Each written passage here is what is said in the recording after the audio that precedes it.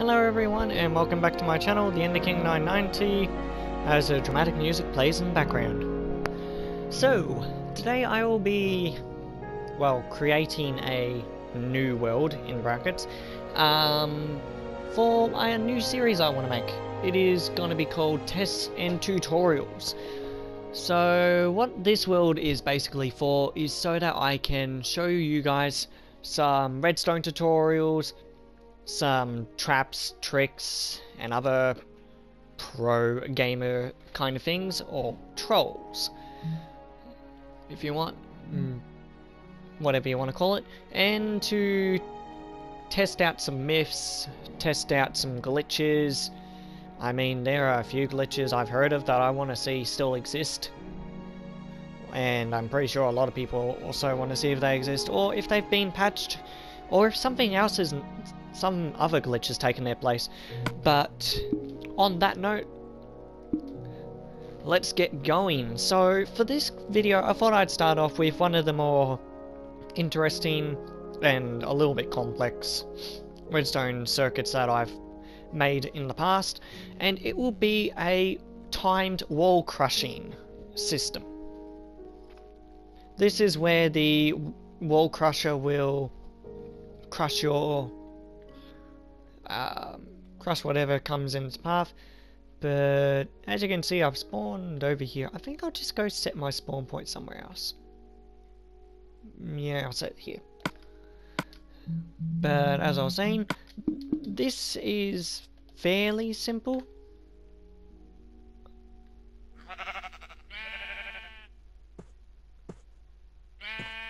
Well, I guess I can say I'm the first person in Minecraft to see a purple sheep spawn five seconds after the world is generated. Woo! I'm lucky.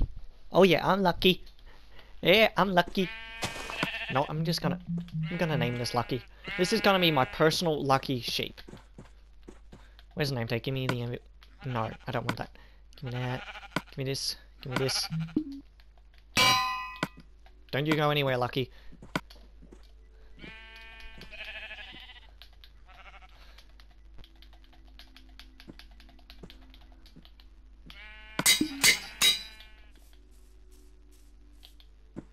Lucky. Uh, I'll quickly make a fence for Sorry if this is, um, not what you expected from this video, but, um... Hooray. I just need to quickly make a fence. Don't you go anywhere, Lucky. I'll give you some room to move around, I guess. Put a fence in. Fence gate in.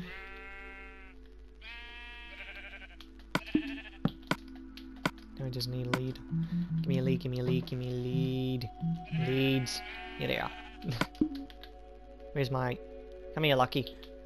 You are going straight in the lucky pen.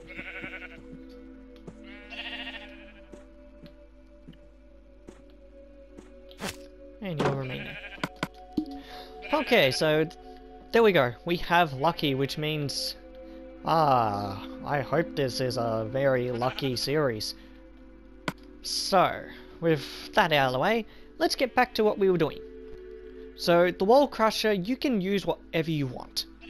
Whatever block you want. You could use chiseled red sandstone, you can use polished andesite, you could use nether wart block, you could use wool. It's not really advised to use wool for this, unless, um... Okay, there is a death trap part of this, where essentially you dig to the bottom of the world, you break bedrock, and whatever whatever is in the trap will fall to its demise. For me, because this is the PS4 version, I cannot break bedrock, so I am going to have to use lava. If you are like me and you are using a version that has to that you will have to use lava for your death trap, I suggest not using wool. However, we are going to be using wool for the circuitry. I will be using magenta wool, for the redstone circuitry part. I'll be using orange wool for something else, and I'll be using cyan wool again for something else that is crucial to our build.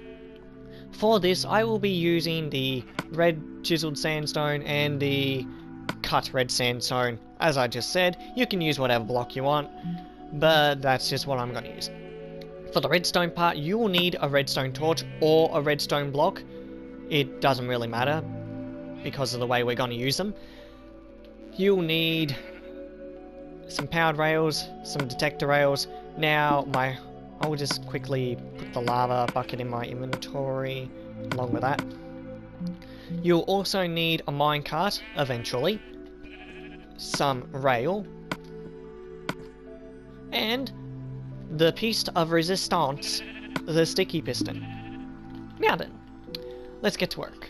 First, it is advisable to clear like a little area of of your place. You can do this underground, you can do this above ground. For the sake of lighting, I will just do it above ground. Now, you can make the... Now, the... Okay, the good part about this setup is you can make it a very long corridor.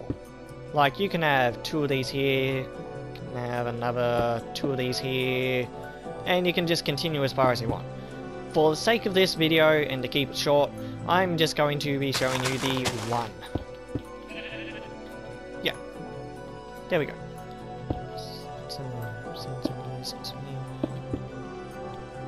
I will be using this just to mark out where I've put my um, pistons. So now we've set up the pistons, we can event we can just make the corridor and the hole. Oh, I think it's best if we make the hole first, so we can get it out of the way. I will be making mine 4 blocks deep. The reason I'm making it 4 blocks deep is because the lava, where I'm going to put the lava will be 2 blocks deep. So, first of all, here's the 2 block deep hole. The lava will start where I'm digging. Just quickly fill it in with decoration of this stuff because I can and I want to. I mean, it's totally up to you if you want to leave it naturally, natural or decorated like I have. But each to their own. So I'm gonna quickly fill in this area with lava. Definitely light up the place a bit. Get rid of the lava bucket because I no longer need it. Discontinue my corridor. One, two, three. You can make yours however long you want. I'm just going to make it three blocks long on each side from the from the pistons themselves.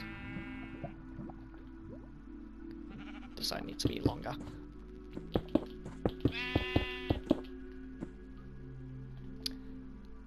I'm so tempted to push you in there, but not today.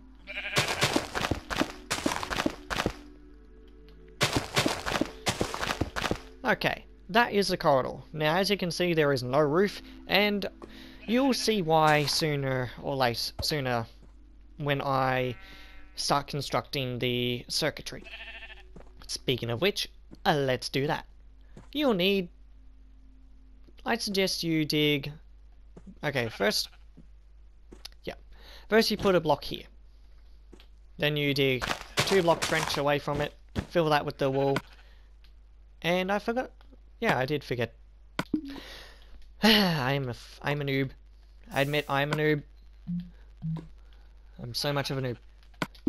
You will need redstone dust for this, so just put some redstone dust on the wall.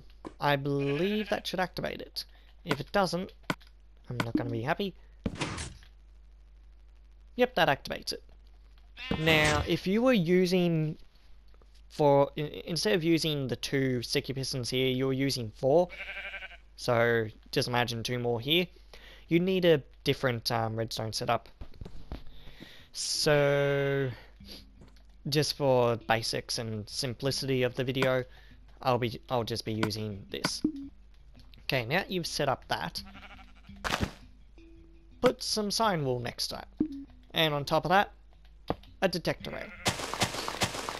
You'll see you'll see why there is a detector rail here. Now, this is completely up to you.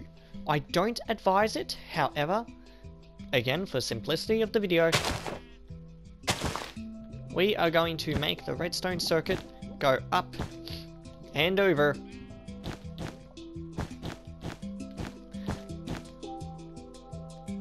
the the um, corridor that we previously made. Now, you may need a redstone repeater. I will just quickly see if you do, just by looping everything around to here. I'm going to just quickly put down a redstone torch here instead. Does that activate that side? Nope, you will need to add a redstone repeater on top of here. So... I am just going to go get my redstone repeater once I fill that back in. Now, this might affect your design because the redstone repeater norm normally gives like half a tick delay. So I was to remove if I was to remove the torch and place it again it was a bit of a it was a bit of a delay. So if you want you could have it so that it does this. One closes and the other closes and the other opens, the other opens. You could set it to do that, but again I'll leave that up to your design. We no longer need the redstone repeater, so we can get rid of it. Now, I suggest putting two orange wool here, and two orange wool here, and another wool here, and another wool here. Put your powered railers down.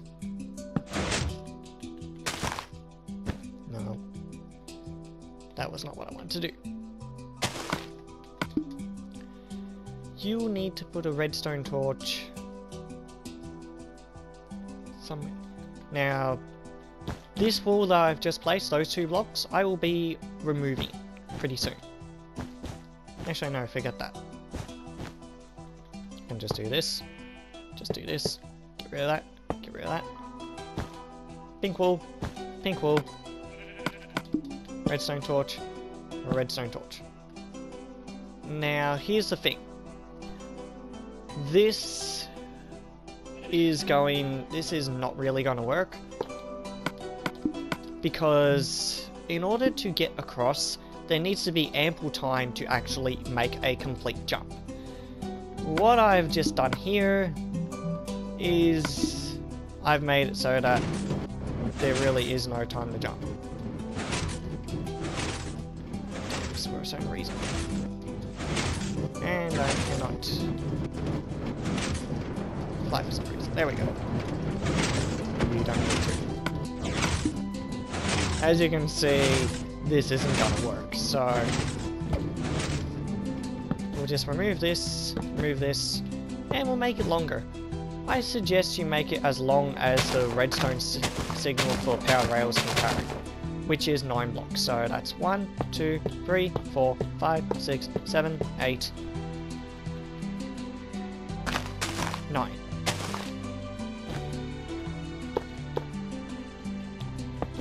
Put our redstone torch down, and do the same for the upside.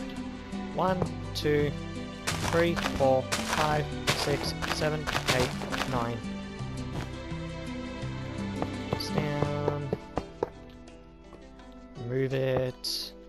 There, that there. And there you go. Now there should be a longer delay between the minecart going across this and the pistons closing. Another way you could do this is you could make it a giant loop. So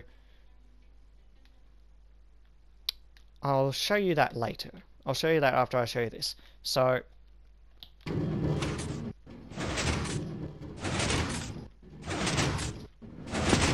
as you can see, there's a longer delay before the walls crush. But it's still not long enough, so I think you will need to do a... You will need to do a loop instead of just this. Unless you just want a really, really long line of track, but hey, that's up to you. If you want to waste time doing that, be my guest. I am just going to be doing this for the sake of the video. I'm just going to put cyan wall here, just so I know that I'm putting down some normal tracks.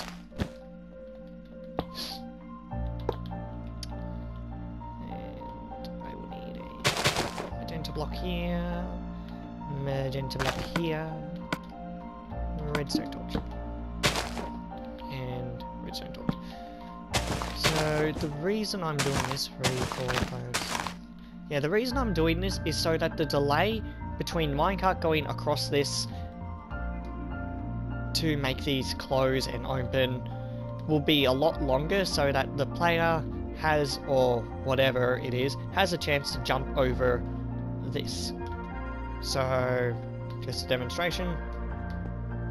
Ta-da. It's a free block jump. I, if you were doing if you were doing, instead of two sticky pistons, four sticky pistons, you might make it a four block jump, which will be extremely hard. So if you want it hardcore mode, be my guest. I've done it before. Uh, yeah, I've done it before. It's pretty fun. If I would place it on the actual thing, put a cyan block here.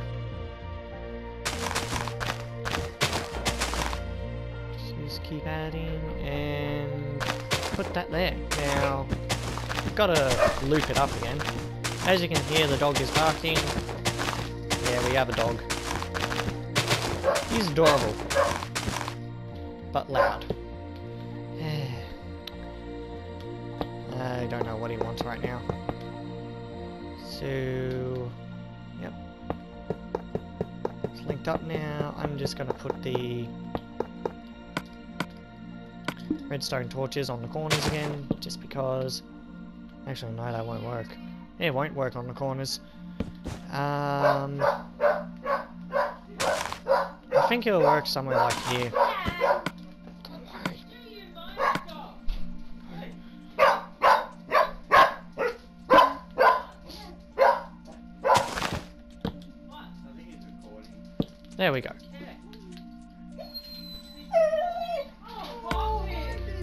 Let's run the Minecraft through and see how it works.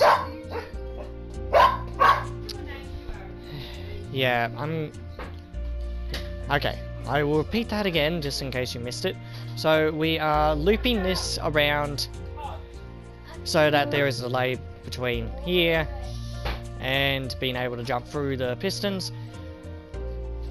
Now that we've made the loop, we're going to run the minecart through and see just how it works. Two, one, two, one. That gives you enough time to jump Just clear my inventory. Grab that. Grab that. And now we can make the roof. Now we want to make the roof high enough that someone can jump across. So I'm just gonna go get some red sandstone stairs because I can. And I'll put the stairs here. Maybe.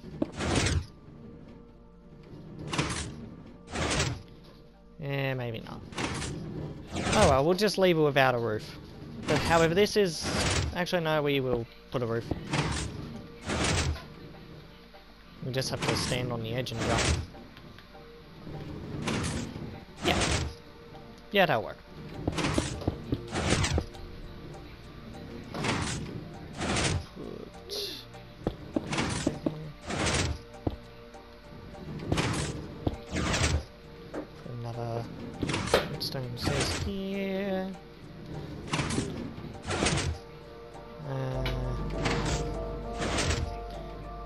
Just gonna move this stuff because I want to hide the circuit as much as possible from any suspecting players.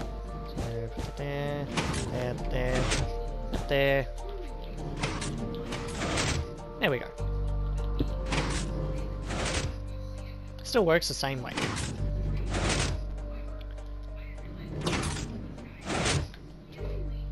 Now, if I didn't fall in the lava, I would have made that jump. So let's try that again. Jump.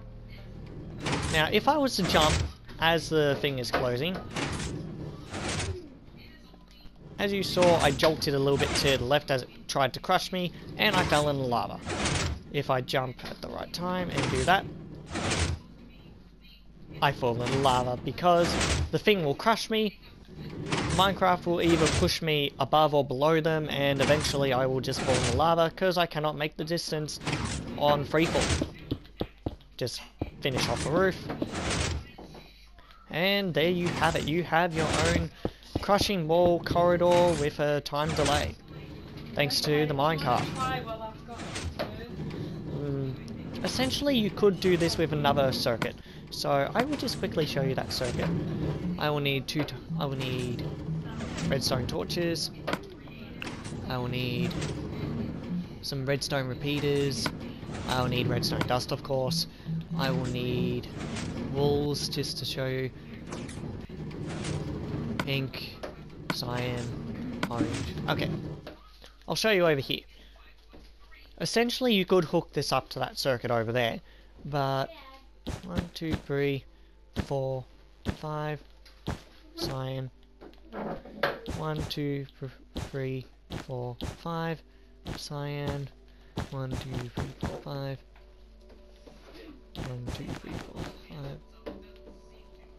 Is that a 5 by 5 No, it's not a 5 by 5 My bad. I'm pretty sure some of you have seen this before. Redstone torches, go on cyan blocks. One, two, three, three, one, two. One, two, three, one, two, three. One, two, three, three. You can set the delay for however long works for you, but as you can see, this circuit turns itself on and off in a loop. It loops itself. Now, the purple part will connect to, uh, let's say, we'll have it connect to a piston. Just like so.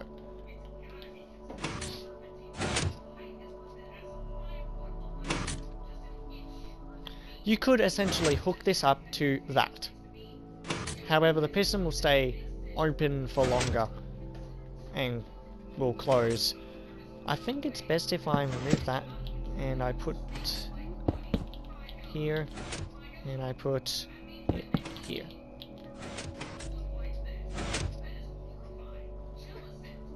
Open, close. It takes longer, but uh, like I said, you could essentially hook up this circuit to that instead of using the minecart. I think the minecart is better because as it go, because with the minecart you don't need to use a whole lot of redstone repeaters. It will probably save you on trying to find quartz in the nether, which is a whole lot of fun going through there, but there you have it. A simple wall crushing corridor on a time delay with minecart or alternative redstone loop system. That is all for this episode. I will be making a new one when I can. So I will see you all later.